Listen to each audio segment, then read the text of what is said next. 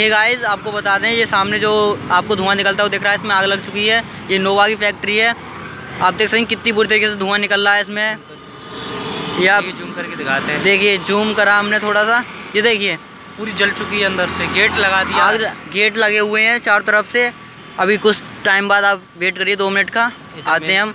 आपको दिखाते हैं अंदर का जलिच आगे। दूध- दूध का ढक्कन नहीं दिखना चाहिए बस। ठीक है?